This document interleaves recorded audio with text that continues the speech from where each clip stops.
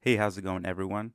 So, today I'm coming back at you guys again with another PPP loan fraud story. So, this time it's a pastor who obtained fraudulent PPP loans and he bought a Tesla with it. Now, if you're not familiar, this the PPP loans were meant for businesses, especially small businesses who were forced to shut down during the pandemic. It was supposed to give them this loan to help pay their employees and to keep them on payroll instead of just letting them go. And many companies did not receive this loan in time, so they did end up going out of business, which was very sad.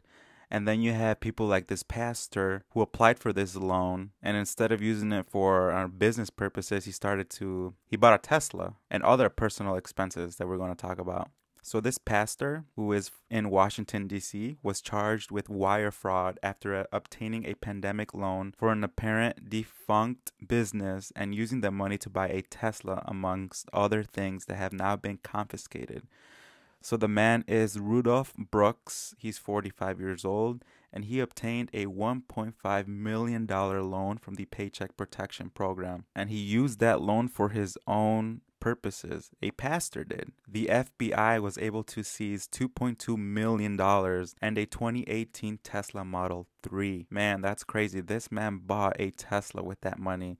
My man should have been buying that Tesla stock. He would have made 10 million by now. Anyways, jokes aside, so Brooks, who was a pastor at the Kingdom Tabernacle of Restoration, he allegedly applied for loans of $1.5 million, another loan that was worth $1.8 million, and a $200,000 on behalf of the companies Cars Direct, Kingdom Tabernacle, and Medaro Celtic Bank. Now it's going to get a lot funnier, so stick with me. So he faked all of his tax forms and payroll forms and he never actually filed any of this with the IRS. So that was a huge red flag. So when he received this money, he deposited this money to 11 personal bank accounts to spend it on restaurant, groceries, musical instruments and other stuff like Tesla. It's pretty funny. This man really tried to cover his tracks.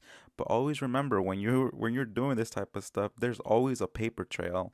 And no matter how long you've gotten away with it, eventually the IRS will get you, especially when it comes to government aid. They don't play around with that stuff. So it's also very interesting how these people were able to get away with applying with these loans when there's people right now who are still waiting on their PPP loans.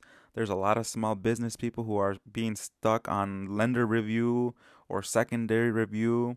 They're applying through Womply and they're still stuck checking every day and they still have not received any word and they can't even contact anybody at the lender's office or whatever and you have people who are able to just get away with it with faking all these tax forms. So it's just very interesting how that works. So he bought his tesla for $60000 in july 2020 and he also put a $10000 down payment on a house so my man was spending that on some, you know, pretty good stuff. But man, out of all people, you wouldn't expect a pastor to be doing this stuff. And the funniest thing about this as is that the company he applied for, his company was Cars Direct, which was actually not even in business in 2012. That was the last time it was been in business, and then mysteriously it resurrected in May 2020. So this man used a business that wasn't even in business. So that really raised a lot of red flags and this man, Brooks, could now face up to 20 years in prison plus three years of supervised release.